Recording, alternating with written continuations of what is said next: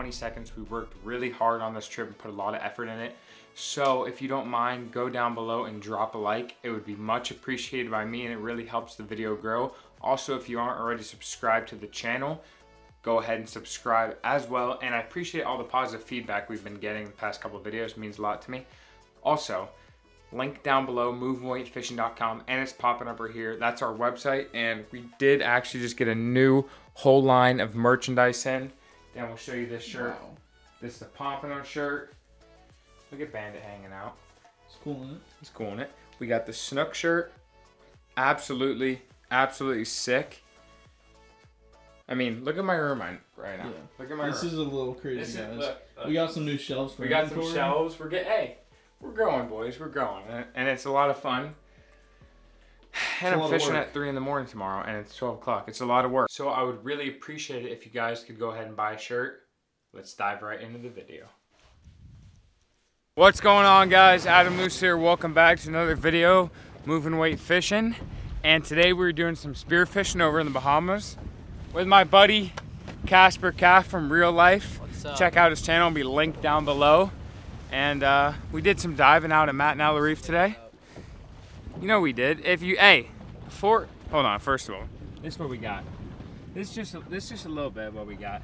That that that ain't all we got. No, yeah, this is this is the this is the tough part of what we show- got. Show, them the sneak peek of the other. Yeah, let me show you the sneak peek of other video.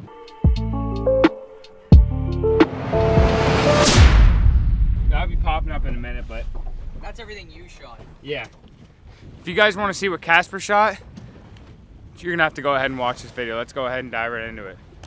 All right, guys, real quick before we go ahead and start um, the second spearfishing session, go ahead right now down below and drop a like on this video. It's free and it helps out a lot. I'd appreciate that. Okay, so this is actually the second half of the day from the black grouper videos if you guys watched the last video and right now i don't know if you can see it that's about a five six pound mountain i'm making a dive on and this was my first dive in a while um, this fish was moving weight absolute weight he was he was going quick and i just wasn't i, I wasn't even going to try and keep up with that fish he was, he was too spooked already so just a little prospect dive you know me so right here, Casper had just called me over. I just turned my GoPro on. He goes, "Nice hog, Adam. Nice hog." Very suspect on that. Um, this is the first fish of the day for me, and I'm breathing up real quick. We're in about 50 feet of water, and it really doesn't look deep because it's so clear and you can see bottom. But it was 50, 52 feet of water, and you see this hogfish laid up. He's by no means nice. It's a keeper, but he's not big. Um, decent, decent shot right there. I wasn't too happy with it, but it was. I had you. You got to knock the first fish off. You got to. You just got the first fish feels. You got to kill that first fish. Um, see how Casper's always checking up on me right there. So this is a small female hogfish. Hogfish are actually one of those fish that change sex at a certain size. When they get 14 inches, they change sex to males is what I was reading earlier, but I'm super suspect on that. You know why? I've literally shot like eight pound female hogfish, so I don't, I don't know how much I believe all that tomfoolery. No, this is the one. I thought he was a big. I he goes nice, nice hog.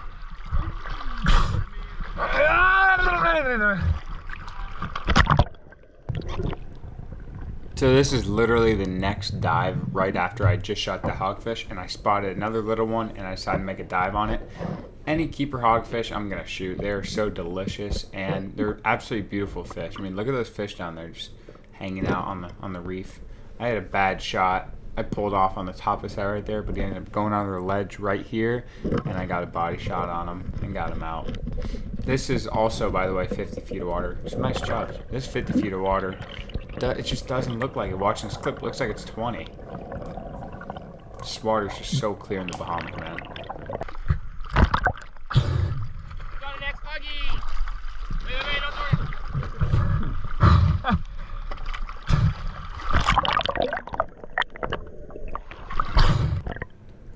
Casper had just called me over and said, Big Nassau, and he starts to take a dive right here. I hadn't even seen the fish yet. I was looking around for it still. He's got his eyes on it. He's already loaded up and everything. I'm pretty sure it's un- yeah, the fish is under the ledge right now. You're about to see real quick. He's making a dive nice and slow on his big Nassau grouper. And you see that fish pop out on the other side right there. We're about to shine a little light on it for you. It's hard to see from up top. Nice Nassau. There he is. On the other side, Casper swims to the other side, tempting to shoot it, and then he then he holes up again. And Casper, I don't know if he ran out of air or what happened, but he's coming back to the Surfonius. That's a nice one. Big one. That's a nice one.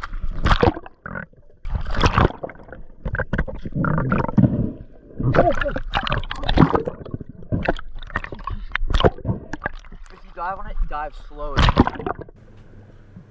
So we had been following this Nassau now for about five, ten minutes, and we were just kind of letting him do his thing, swim around until he felt comfortable again. And I'm just breathing up right here because I'm about to make a dive on him. We're in 55, 57 feet of water, I believe it was. Um, by the way, I'm, I'm diving with my Salvimar pole spear, if you were wondering. See this Nassau right there? They're super territorial fish, and they'll try and hold their ground. I thought I was going to shoot him right here, and he just went back in this hole right here. Super easy shot. See him right there. Boom, laid up, right in the head. Perfect shot. Everything went super smooth on this dive. Felt good to shoot my first nice fish of the trip. And he's done so. He's gushing blood right there. See how Casper's right there to, to catch me if anything going wrong. He's getting my fish. You know the deal, boys.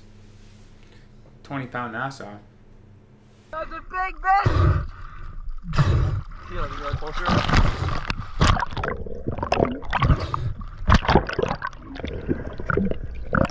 Get back closer.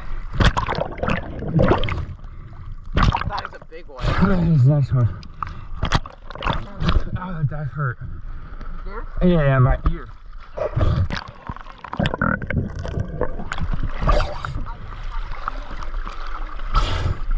Got him?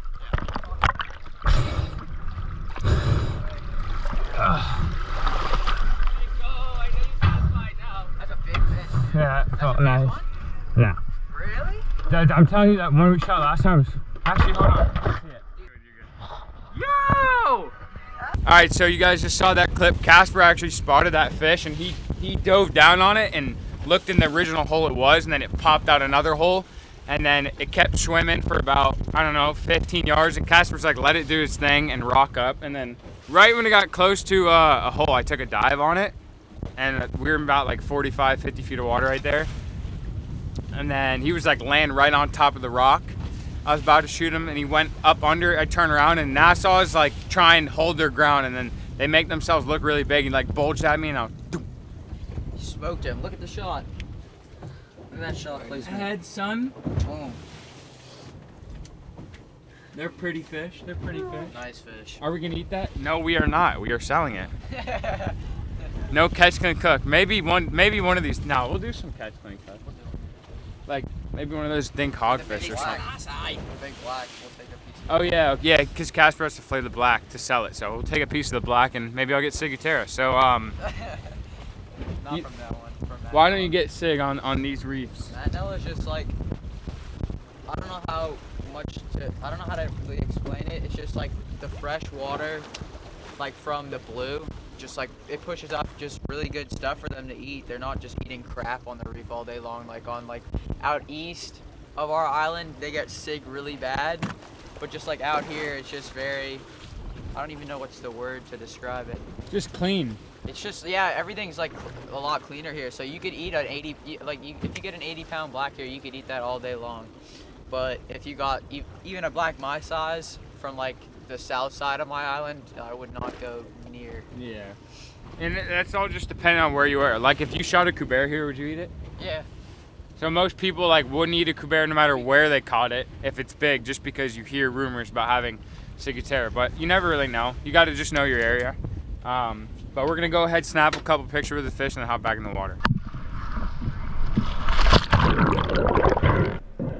All right, so this is just right after I shot the Nassau hop back in the water, and I was actually following Casper when he was about to shoot a big black, and then I spotted my own black. This is about a 30 pound fish, and he doesn't look that big on GoPro for some reason, and I don't know why that is, but this is a nice fish. And I tried to dive here with the sun to my back. He was sitting there. He was not having it. I definitely didn't do the right approach on this fish. He instantly spooked into a hole, which I thought was a good thing at the time because you want a whole grouper up. It's the easiest way to shoot them. And right here, I wait for that fish to hole up. I called Anthony over, and I'm breathing up real quick to make a dive on it. And I'm, I'm pretty confident here that I'm going to roll this thing. I knew he was in that hole. I'd been waiting for like 20 minutes for the just the right time, Anthony to get in the water and everything. And rookie mistake here. I didn't land. I didn't load my pole spear before I had gotten down there. I go to load it right here. You see him dart right out. He saw me go to load my spear and he dipped. I should have had my spear loaded. This is about in 55 feet of water, by the way. I was so upset too, so upset because I had a real good dive. I, I was feeling real good. I would have definitely had a lot of time down there. Um, I, I was upset about that one for sure. Dude, that was shot. I. That was You know such a good dive too. I could. I felt so good on that dive. Turn down, you swing your hand, the fish dart, and when you when you turn, load I up wasn't loaded up yet, so I I know. thought- That's why I say when you load up your spear, it just That was a nice one. 20 pounder. It's 25 pounds. yeah. I was like 20. All right, so this is, I'm taking a dive right here on a pretty nice sized dog snapper. I don't know if you can see it yet. You can see him lurking right now. Probably eight, nine pound dog snapper. Um, this fish, this fish wasn't moving too quick, but he was just keeping his distance from me. I was too rushed on him too. I should have slowed down and tried to calm in closer to me. He spooked right there. Sadly, did not get that one. So Casper's just down halfway in the water column, just looking around, and I take a dive as well to look around. And on my way down, I see a nice schoolmaster. This is by far the biggest schoolmaster I've ever shot or seen. Um, I'm about to shoot him right here, and then he dips into this little crevice. I can't see him, and I'm looking around. I'm looking around. Boom, head pops out right there. Smoked him. Nice headshot. And I- I don't know why that looks like a two pound fish right now when I just shot it. But I'm gonna show you guys for reference in a minute. That's an eight pound. That's an eight pound schoolmaster. That was a really nice schoolmaster. Um, you know me.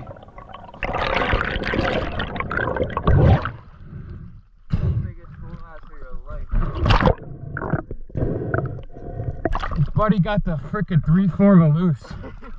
Yeah, see, look at the fish now. Next, he's bigger than the hogfish, and it's like half size of that grouper. Casper said too. That's a 20 year old fish, which is crazy. Pretty fish. What do you got, son? Yellowtail. Oh boy. Yellowtail. Hey, cold boy, daddy. Hey, put a chum bag out, Anthony. So I hopped back in the water after that little yellowtail sesh. I didn't film much of it because it wasn't really good. We had missed the tide. But I'm taking a dive right here, just looking around, and I didn't really do a good breathe up either. And you see, I spot that hogfish right on the reef, so I had to go over and give him the one-two maloose. Um, nice little hog, you know me. Doink, lay it up on him right there. And my leg was cramping so bad right here. I, I started kicking up with one with one uh, foot, one fin. Sorry. Little petite hogfish. This was my third hogfish for the day, I believe. And like I said earlier, there's such pretty fish, can't not shoot them. Anthony's catch of the day. Woo! Whoa! Recreational jack. No, wait, wait, wait, wait, wait. Isn't that nice out? You. after like five months of diving after surgery, this is great. Yeah. Hell yeah. it Can't is. beat it.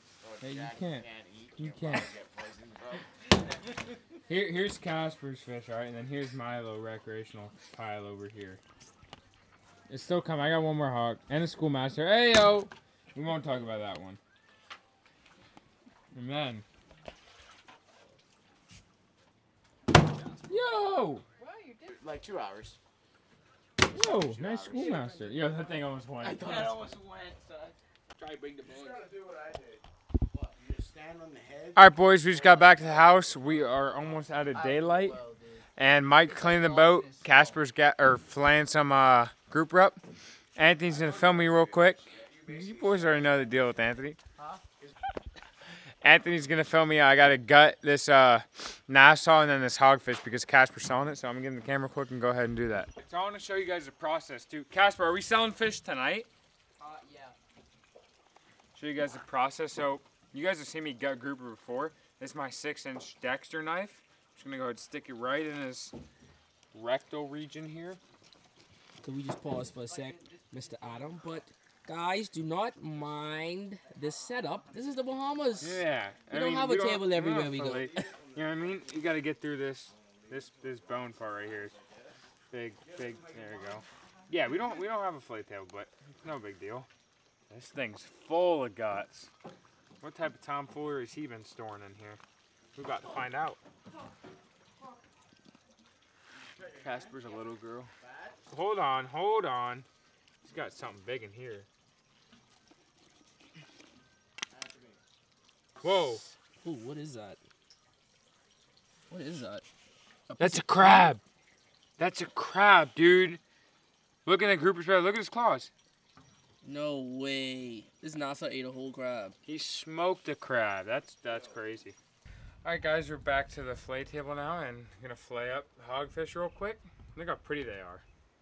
One time. Such a nice fish. Such a nice fish. So their heads really look like coral. That's how they blend in like that. You, I don't know what the little divot is in his head, but their heads look like coral. You see, they got this these huge mouths. I'm sure you guys have seen before. That's why they get the name hogfish. And they go down there and they're sitting on the reef and stuff. And they're just like that. You just look at. Sometimes you look at them like this. That's how he was sitting when I shot him. This one, Yeah. you munching. Yeah. He's just they're just munching on little coral and there's crustaceans and whatnot. But we're gonna go ahead and fillet this bitty up real quick. Start right behind the pec fin, go up to the head, and then on the dorsal fin, just work our way up. And just follow that knife all the way down. Hogfish are a pretty easy fish to play, and they got some of the most lights out meat of a lifetime. Ain't that right, Casper? That is right. Boy, Casper had a layup one time. Yes, sir. You guys are gonna see the clip of me missing a hog this size. Oh God. It's it's a tough clip to watch. It is. He just he had to try the new pulser and it didn't work out for It him. did not work out for one one time. It didn't even work out one time. Actually, it did. but It yeah. worked out Uh, one time In the tail, it worked out in the tail one time. The only thing about hogfish is they have a super annoying rib cage. So you gotta see see how big it is. It's all rib cage right there. So you gotta come over that joint, and then just keep doing your regular fillet right here. And this is a little little holy Yeah, that's what, that's what I'm saying. Raggedy. It's a little knife uh, for this big fish, but that's all you need is a six inch Dexter knife. And I love it for filleting bigger fish or any fish. You can use code Adam20, save 20% off on, on Dexter's though. Isn't that right, Casper? That is right.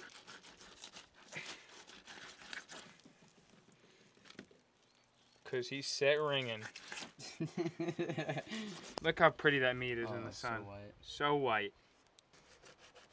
Start right there. They got thick skin too, so if you mess up your kook, I'm gonna mess up. Has he did? And mm, just glide your knife right along that bitty. Boom. Just like that. And then one more thing. I mean, look look at the back. This is the back of the fish. Zero bloodline. It's just ridiculous. Their diet's literally crustaceans and coral. It's like a sheep's head, but sheep's head even has some bloodline. All right, so just like that, you got your beautiful, beautiful hogfish fillet. And uh, I don't know how we're gonna cook it yet, but it's gonna be lights out. I'll We'll tell you that. that. Yeah, we'll figure that out later. But we're gonna Casper's gonna go ahead and clean the boat. I'm gonna clean the rest of these fish, and then we'll see you guys back at the kitchen. All right, guys, we're here at Banana Bay Restaurant in Grand Bahama, and they just cooked up my hogfish for me real quick. Casper got some chicken because he's raggedy. I am. but uh, make sure. All right, and I'm gonna lay up on this hogfish real quick. Looks lights out. You can't go wrong. A little fried hogfish, a little tartar sauce. You know the deal. Wow. Hey, the boys on the YouTube channel, they got to come to Banana Bay. That's what I'm telling them right now. all right, all right, all right. but thank you guys so much. It's really good. It's money.